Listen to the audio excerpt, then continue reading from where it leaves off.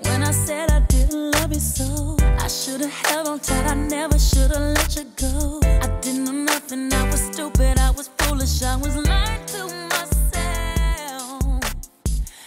no fathom that would ever